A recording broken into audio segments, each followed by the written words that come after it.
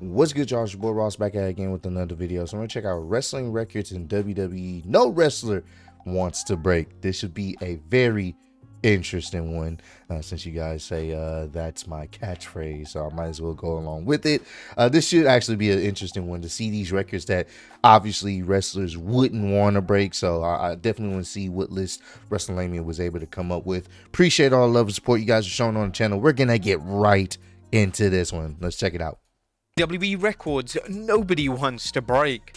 Be sure to subscribe and hit that notification bell for daily wrestling videos and follow us on Facebook for exclusive lists. The most disliked WWE YouTube clip of all time. Now after the Royal Rumble at Yep. the start of 2024, WWE aired a segment on SmackDown which broke the internet. In the segment, Cody Rhodes would announce that he was giving up his WrestleMania spot that he'd earned in the annual Royal Rumble match, and instead, The Rock was taking his spot in the match. The segment was confusing, nonsensical, and Yeah. ultimately made the babyface, that being the American Nightmare, look utterly stupid. The backlash to the booking move was instant and notable, as the segment within a matter of days became the single most disliked mm-hmm. upload on WWE's official YouTube channel. As things stand, the segment has almost 750,000 dislikes, a truly insane number, and the number continues to grow on a daily basis. The reception to this segment was so overwhelmingly negative that WWE were forced to pivot and change direction. The planned Rock vs Roman Reigns match was scrapped, and WWE proceeded to book a heel turn for The Rock, and Rhodes vs Reigns Part 2 was the new direction for WrestleMania 40. The most losses which worked. It worked. Apparently, uh, it had came out that Cody was supposed to be a little bit more happier about what you know, you know, giving up his spot to The Rock. Apparently, but obviously, you can tell he wasn't. And when I initially saw this, I was like, "Is this?" You know, I'm I'm trying to think of any rational reason why he would do that. Like, it, maybe there's gonna be some type of uh you know uh, he he gonna find a way to help out cody i don't know i was trying to find any reasonable way why why cody would even do such a thing but they course corrected and it worked we have the final boss the the heel version of the rock it's honestly some of the best work he's done in a very long time. Cody is the champion. It was a great story at wrestlemania. It worked. And I've said this before, sometimes the best stuff, the best ideas or the best situations happen off of audible. Off of, okay, we got to change plans, and it ultimately works even better than what they anticipated. So, obviously, yeah, that I don't think anyone's to break that record for a very long time. The most disliked WWE YouTube video. Is in WWE history. Whilst WWE is scripted, wins and losses are key to keeping a wrestler credible. Yeah. Logic would assume that a wrestler with the most losses in WWE history would be a lower card talent or even an enhancement talent. However, in reality, the dishonor goes to a former two-time WWE champion. The name in question is former WWE champion The Miz, who has lost over 1,300 matches. As of this video, exactly 1,335 matches. Damn. This is throughout his WWE tenure. This is a statistic and a record that is unlikely to ever be broken. The record was even used in a storyline as it was referred to numerous times in 2023 that The Miz was on a consistent and prominent losing streak. Despite having this record, it hasn't impacted Miz's credibility too much, as due to Miz's star power and promo ability, he's able to present himself as credible with one brief yet intense promo. And and that's pretty much what saves the Miz is his promo ability, his charisma. That's what saves him. Because when you really think about it, that's a ridiculous amount of losses. But this guy is a multiple. He's a two-time WWE champion. you know what I'm saying? So it's just it's just one of those things where people tend to forget about how many times you've lost over your career if you're able to give a good promo and hype somebody up, you know, hype up a match. That's always been the Miz. Hit Miz's strong suit is not his in-ring ability, it's his ability to sell you on a match or hype you up through promos. That's that's what helps the Miz. The worst drawing WWE champion of all time. Oh no. Winning WWE's top prize should be Uh-oh. the height of a wrestler's career. However, if the reign fails to catch fire and fails to capture the excitement of the fans, it can be highly detrimental to the wrestler's aura and legacy. The record for the worst drawing WWE champion of all time unfortunately goes to Kevin Nash, mm-hmm. aka Diesel. Diesel's WWE title reign in the mid 90s came at a time in which WWE product was struggling to find an audience. Yep. Attendance was down, ratings were plummeting, and the wrestling audience had decided that the WCW product was the wrestling product that they were going to invest their time Yep. and money into. WWE executive Bruce Pritchard spoke on his podcast regarding claims of Diesel being the worst drawing champion in company history, and this is what he had to say. people put the heat on Diesel. Uh, I did. I, I remember the the night that we went to shoot the angle with Goldust and Razor in Portland, Maine, or Bangor, Maine, and Vince was in with Razor and Goldust or whatever, and I'm outside with with Hunter and Diesel, and Diesel says, "You know, I'm the the lowest earning WWF champion of all time." I said, "Well, it goes hand in hand with."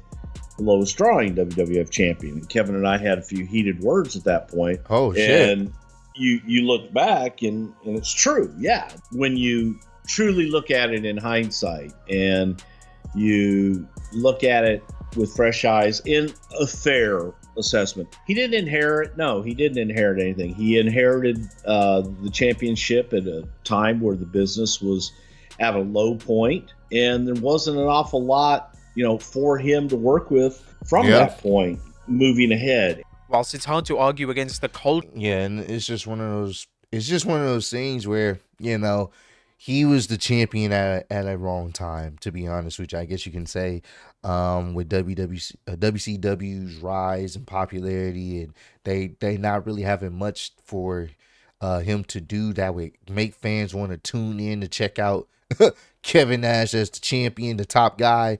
You know, it's it's a combination of things. You know, so you know for him to get all of the heat there, it's not really fair, especially in hindsight. It's just WWE was having a, a low point around that time. hard facts that Diesel was the worst drawing champion in history, he did manage to become a legitimate drawer later in his career. Yeah, The most losses at WrestleMania. WrestleMania is WWE's premier event, and it's in a wrestler's best interest if they have a credible win loss record at the big event.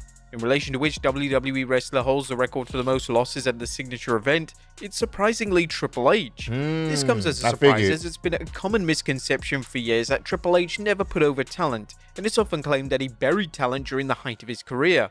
During his career at WrestleMania, the game has put over names such as Batista, Seth Rollins, Roman Reigns, and even the Ultimate Warrior. The game but not Booker T when they should have. But we can, you know, we we've been down that road before. has lost 13 times in total, which is crazy to think about. A Damn. wrestler losing this many times at WrestleMania is unlikely to ever be replicated, especially in an era where it's actively 13 encouraged by times? fans that wrestlers obtain a WrestleMania win at one point in their career. The most chair shots to the head. But once again, it's Triple H. Even though he's lost that many times at WrestleMania, he still has a legendary career, and people don't really too much pay attention to it because it's fucking Triple H. So in a single match. The I Quit match between The Rock and Mankind at 1999's Royal Rumble is one of the most infamous matches Uh-huh. in WWE history.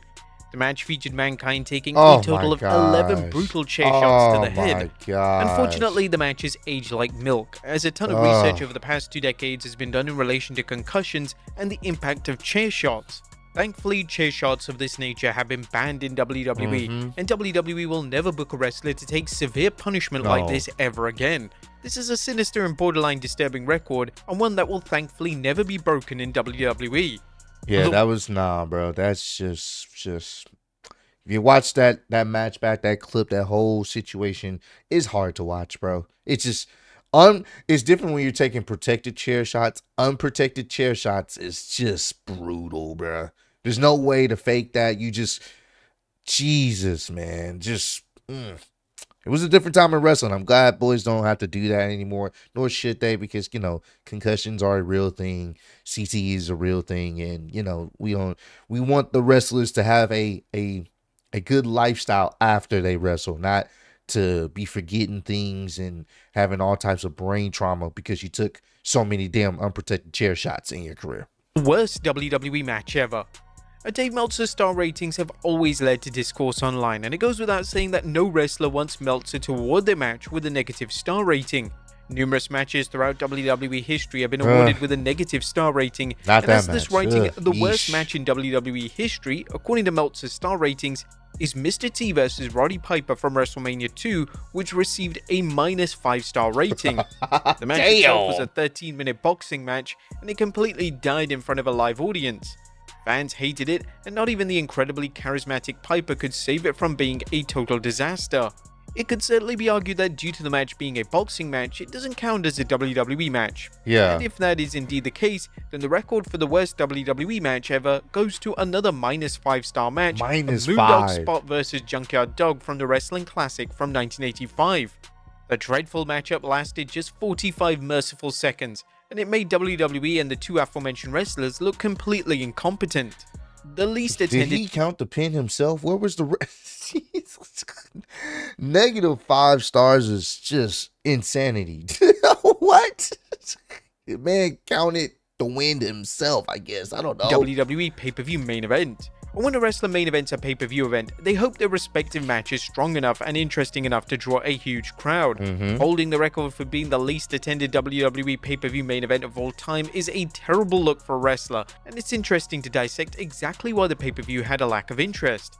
The record for the lowest attended WWE pay per view in history goes to Taboo Tuesday 2004. Mm. This was the first ever Taboo Tuesday event, and it was attended by 3,500 fans, which was low even for a live event, never Yeah. mind a major WWE pay per view.